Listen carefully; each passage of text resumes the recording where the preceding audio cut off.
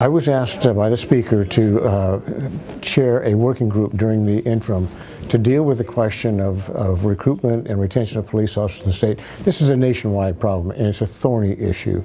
Uh, a lot has changed in law enforcement since I was in law enforcement uh, many years ago.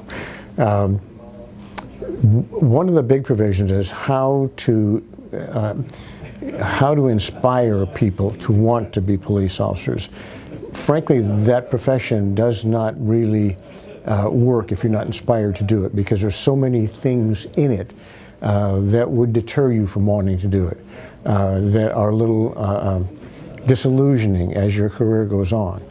Uh, so, so what I've done is, is crafted a bill that allows uh, a, commit, a commission to be formed. The governor would appoint them, and that commission would have the authority to engage a public relations firm uh, to do a statewide uh, campaign for the law enforcement industry.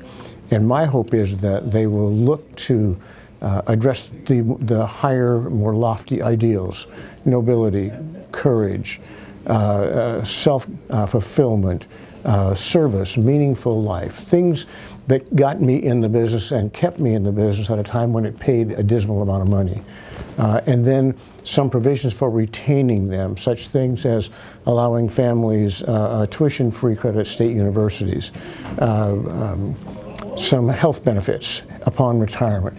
Those things would certainly add to the recruitment, but there are good reasons to stay if you're in, a, in police officer.